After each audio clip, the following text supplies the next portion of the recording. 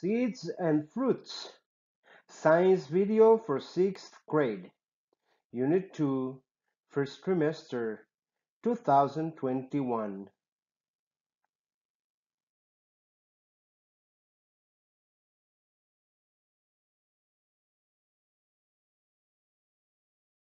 What happens after fertilization? After the ovary is fertilized, it starts growing until it turns into a fruit. The ovules then become the seeds of that fruit.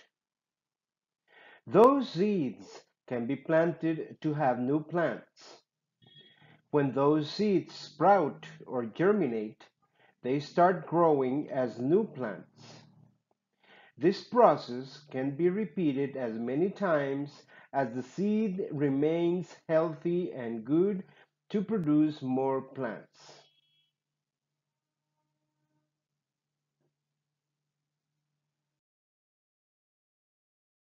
The growth process of a fruit. Watermelon.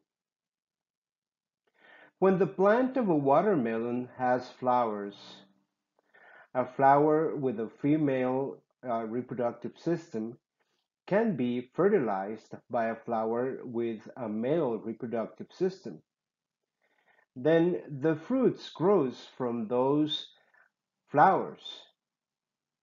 This new fruit provides seeds that can be planted and those seeds will germinate to produce new plants.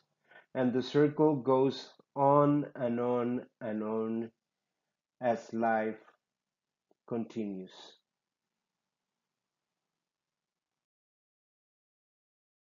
Seed dispersal. One of the most common ways of dispersing seeds is accomplished by humans. That, that means they take the seeds from one plant and they will put them on dirt and they will try to grow new plants.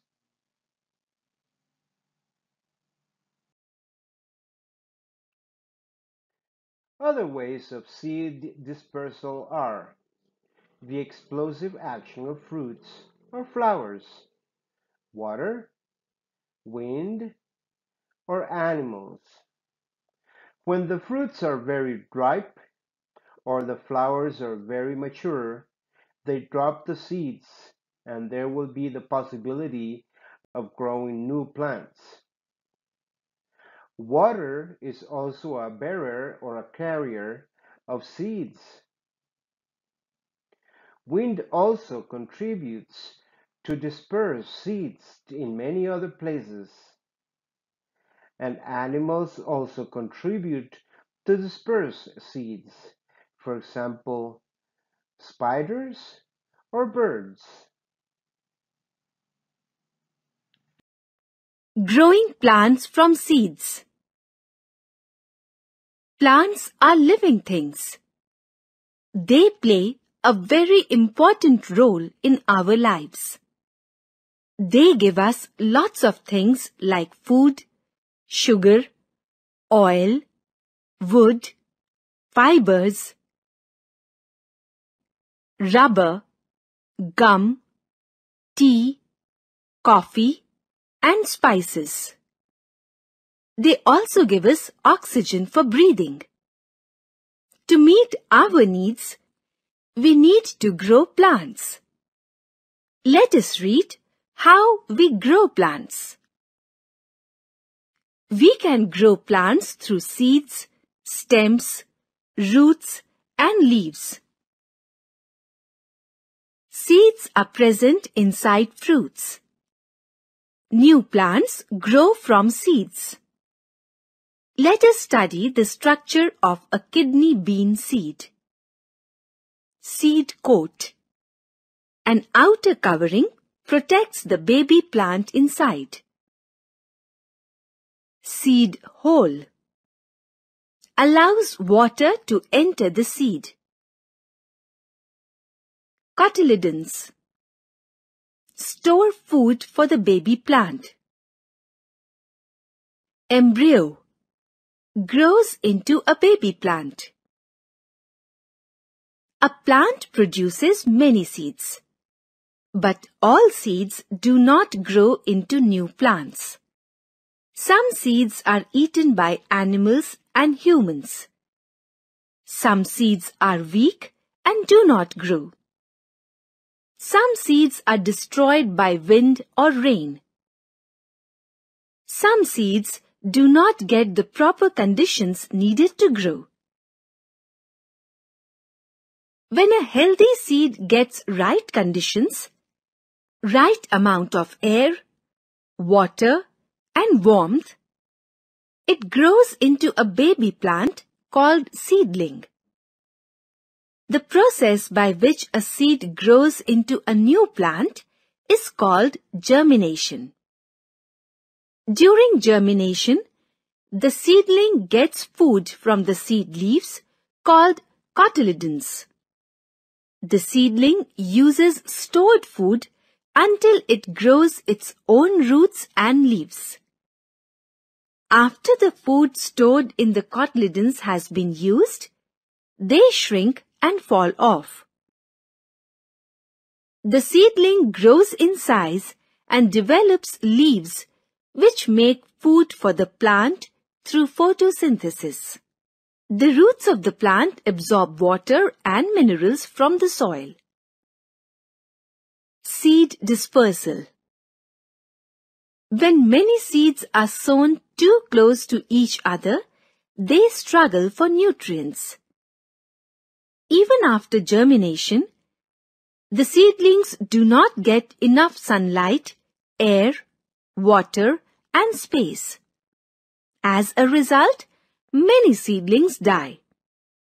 Thus, it is important that seeds are scattered over a wide area so that each seedling gets enough sunlight, air, water and space to grow. Seeds of some plants are scattered naturally to ensure that they do not grow too close to each other. The process by which seeds are scattered away from the mother plant is called seed dispersal. Some seeds have special features that allow them to disperse. Some seeds are dispersed by agents like wind, water, animals, and human beings. These are called agents of dispersal. Dispersal by wind. Seeds that are light and have hair or wing-like structures on them are dispersed by wind. Cotton and dandelion seeds have fine hair and are easily carried away by wind. Dispersal by water. Seeds of some plants can float on water and are carried away by water. Lotus plant has a spongy light fruit which can float on water. Coconut has fibrous covering that helps it to float on water. Lotus and coconut seeds are dispersed by water. Dispersal by animals. Birds and animals eat fruits. At times, undigested seeds of these fruits pass through their digestive systems unchanged. In this way, seeds are dispersed from the plant. Some seeds like cocklebur, datura and tiger claws have spines or hooks. These seeds stick to the bodies of animals or birds and are carried away. Human beings and animals eat fruits like mango, jamun and cherries and throw away their seeds, resulting in their dispersal.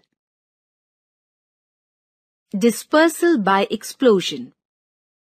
Some fruits like pea, poppy, balsam, and bean burst open, scattering the seeds away from the plant. Evidences for next week's class. For the first session, answer the questions on pages 63 and 64 in your science textbook. The answers will be checked in class. You do not need to send the answers. For the second session, complete the exercises on pages 66, 72, and 73. Enjoy learning about seeds, fruits, and plants. Thank you.